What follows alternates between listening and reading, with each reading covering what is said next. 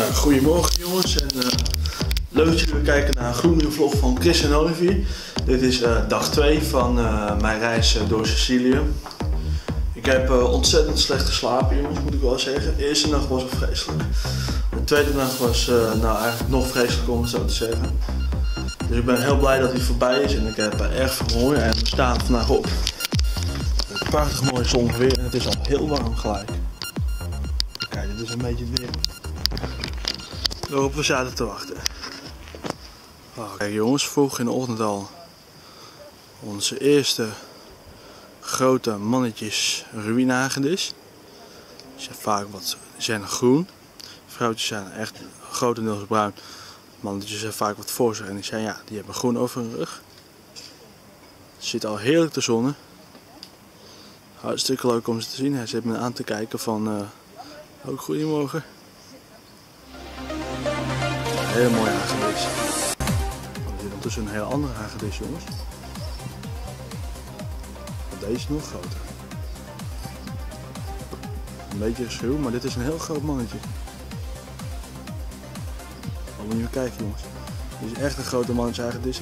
Daar zit een ander heel klein mannetje.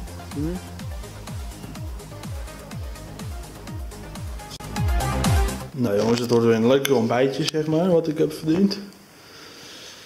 Dus uh, ja, stokbrood en wat te drinken en uh, een botertje en zempje erop. In ieder geval, uh, we hopen op een leuke verrassing.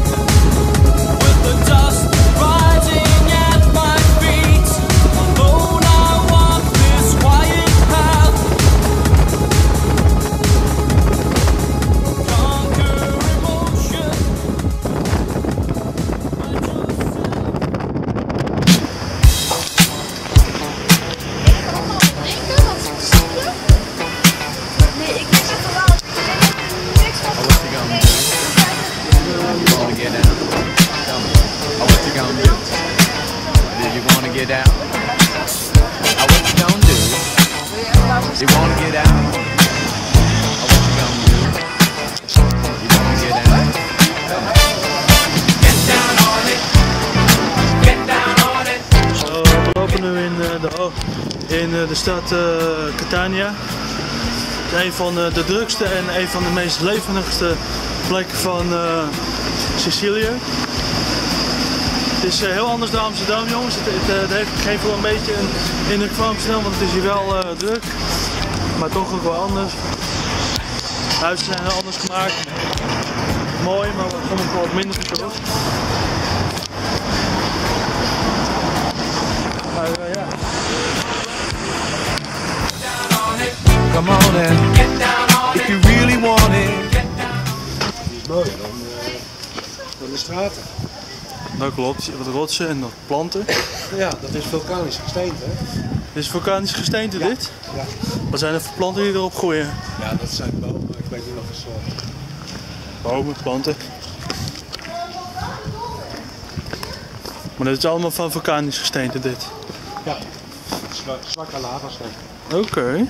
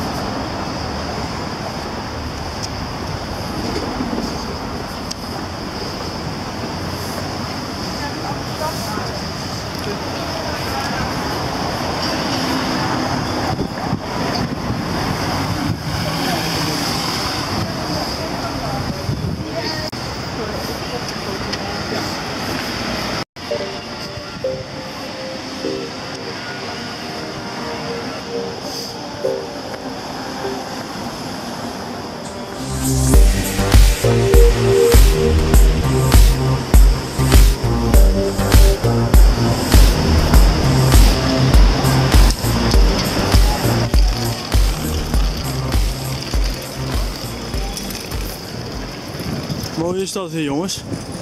Wel druk. Ook verkopers hier rond, dus eh, dat waait wat minder, maar goed. Teken.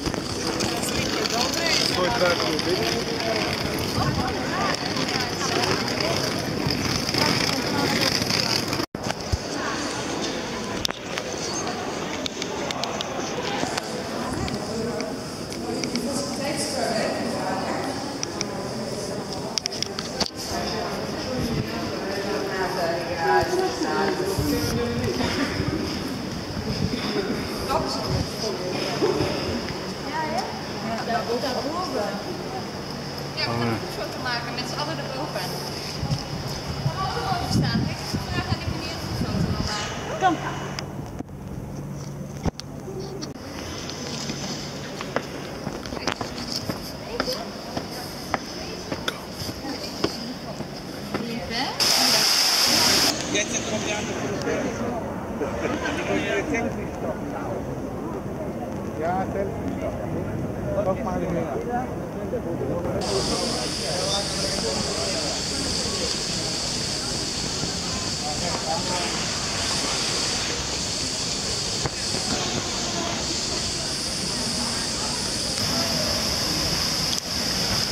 Dat is even wit.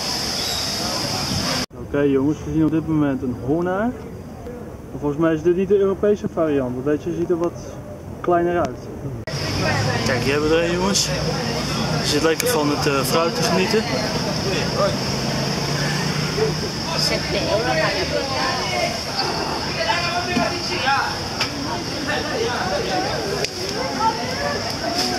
Mooi beest.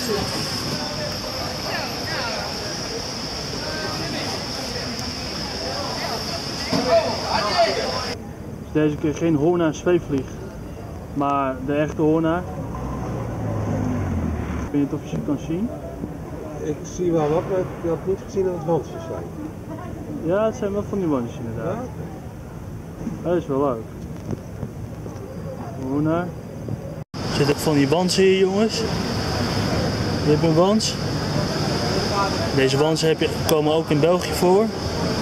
Als je geluk hebt af en toe in Nederland. Heb nog een paar exemplaren. Er zitten heel veel wansen hier. Ik heb er nog eentje.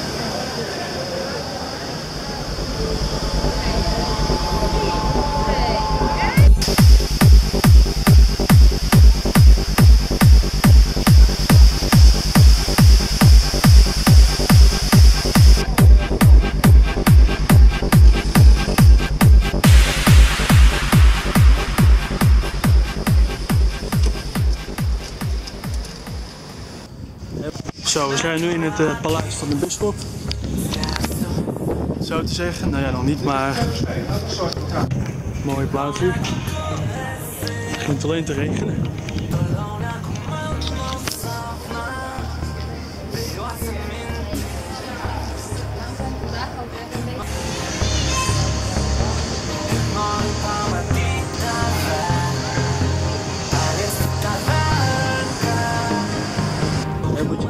Die vissen zijn verzot brood. Een hele school houden ze daar. Bij de boot. Een hele school, daar ook nog wat.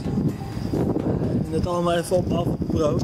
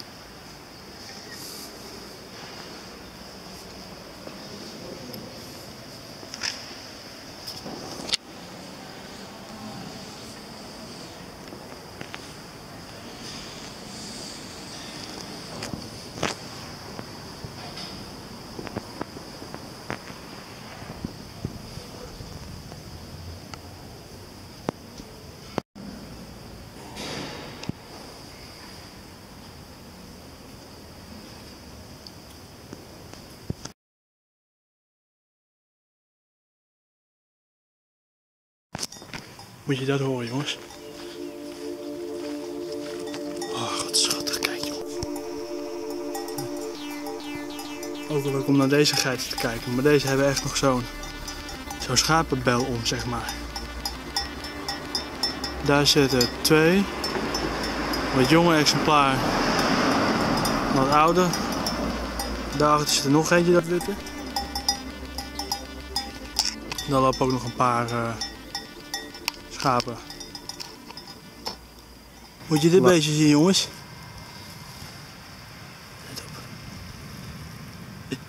We hebben in Nederland hebben we de blauwvleugelsprenger, jongens. Maar we hebben naast de blauwvleugel ook de roodvleugel. En dit is de roodvleugelsprinkhaan. En net als bij de blauwvleugel springt hij alleen op als er gevaar dreigt. Hij heeft echt een heel, hele goede schutkleur, jongens. Iets beter dan die van de blauwvleugel, maar je ziet hem ook echt gewoon bijna niet. Beetje een rode kop heeft hij. Net als bij de blauwvleugel gebruikt de roodvleugelsprinkhaan zijn vleugels om inderdaad eh, weg als afleiding als je wegspringt.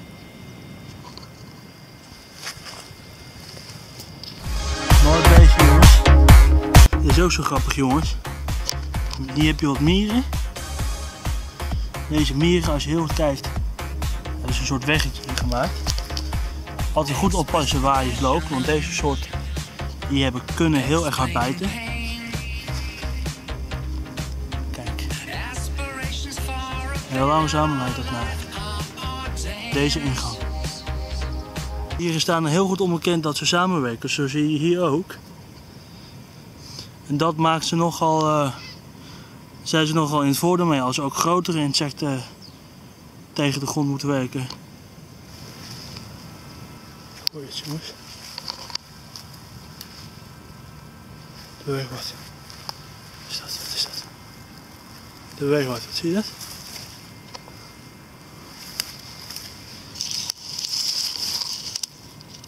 Oh kijk, die zit hier niet bellen. Oh kijk jongen, moet je kijken. Oh, dit is echt heel bijzonder. Ik dacht, waarom schreeuwt de- deze libellen, die er om hulp. Maar met een reden. Deze, deze libel is, die is eh, het slachtoffer geworden van deze wesp. Goed kan zien.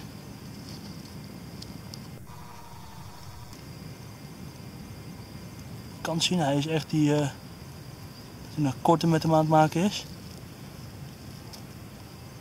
Maar dat kunnen wespen inderdaad goed. Wespen zijn inderdaad ook jagers. In dit exemplaar heeft die libellen naar de, oh, komt versteking aan, naar de grond geweest.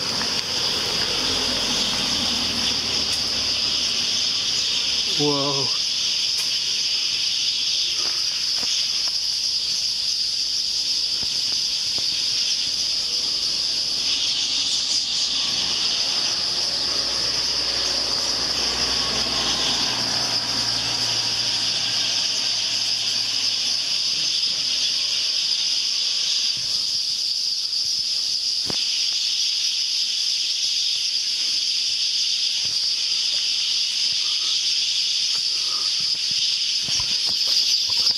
Het lijkt net jongens alsof ik eh, onder een boom doorliep waar meer dan 20.000 cicaden eh, in zitten. Maar dat zijn geen cicaden, het waren huismusjes jongens. Musjes die we ook eh, heel veel vroeger in Nederland voorkwamen. Maar die helaas door het gebrek aan het dakpan en huizen zijn verdwenen. Maar er zitten heel veel in die boom daar zoals je hoorde. En insecten. Er zitten heel veel verschillende soorten hagedissen jongens. Ja, het is een vrouwtje, dat weet ik wel. Zit uitkijken om het zo te zeggen. Om erheen te kijken. Op Sicilië leven meer dan eh, 12 soorten reptielen jongens. Waaronder 4 soorten slangen en 3 soorten eh, waterschildpadden. Eh, schildpadden, dus eh, ja, de Griekse landschildpad, eh, een waterschildpad en nog een bepaalde soort landschildpad. En de rest, eh, ja, 4 soorten slangen en eh, wat hagedissen. Ga helemaal op de uitkijken. Er zitten hier wel heel veel eh, ja, katten jongens, hier zitten al drie, één kitten. En dan nog twee exemplaren op het hek. En bij de auto zit er nog één. Dit zijn niet echt katten jongens, Eh, ze zien er wel lief uit, maar ik zou ze eh, niet aaien. Een ervan die zit me aan te kijken, maar ook ehm, De katten die we hier zien, die kunnen namelijk eh, kunnen ziektes overbrengen, want ik denk namelijk niet dat ze ingeënt zijn tegen de ziektes. Dus ik, eh, ik, eh, ja, ik raad het meestal om katten in buitenlanden die loslopen te aaien. Want een groot deel van de katten zijn eh zwerfkatten.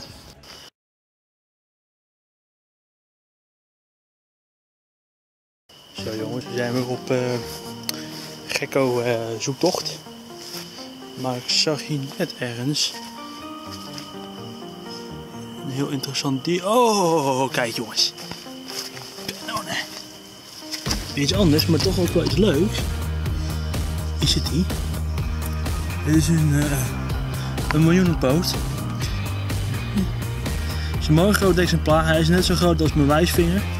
Maar je hebt soorten die ongeveer zo groot kunnen worden als mijn onderarm. Je hebt ook duizendpoten. De duizendpoten zijn juist eh, waarvoor je op moet passen.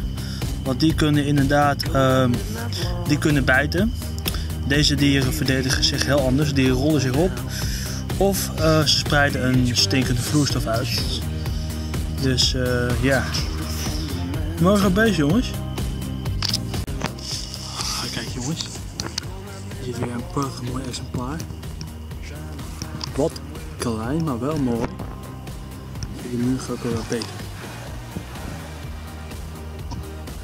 Mooi beestje. Deze heeft een staartvel. Gekko's of hagedissen laten hun staarten alleen los. Als, er, als er gevaar dreigt of als afleiding. Dan gaat het roofdier natuurlijk eerst naar de staart toe. Zodra de hagedis de staart losgelaten, maakt de staart nog wat eh, bewegingen, zeg maar. Bewegingen zijn echt bedoeld van eh, ja, als afleiding. Heel goed naar de hagedis kijken. Licht een beetje goed zetten. Heel goed zicht hebben ze.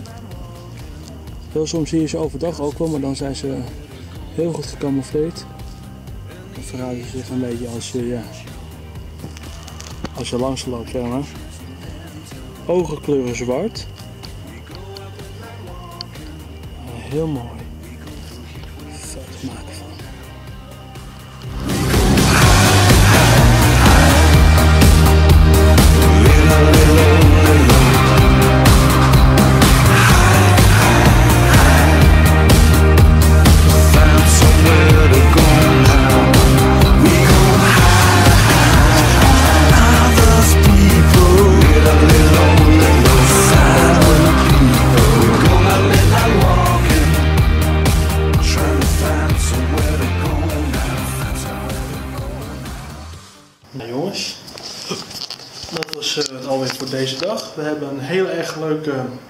De, ja wat gegeten maar goed.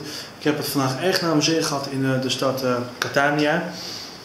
En eh, nou ja, ik hoop in ieder geval wat nieuwe diertjes te zien. We hebben al wat nieuwe diertjes gezien, wat insecten, maar ik hoop wat meer. Ik hoop ook deze vakantie te snorkelen, dat gaat sowieso zeker gebeuren. Want dat mag er natuurlijk niet aan breken.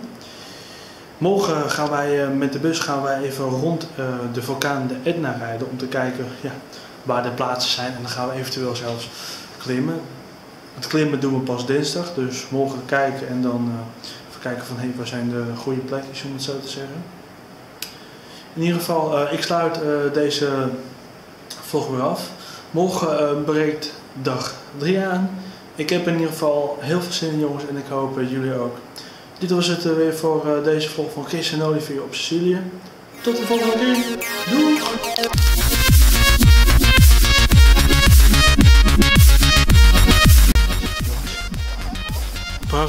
Groene hagedis. Nou jongens, we hebben eindelijk een slag. Hey jongen, kom je gezellig op mijn... eh, dit is heel mooi gemaakt.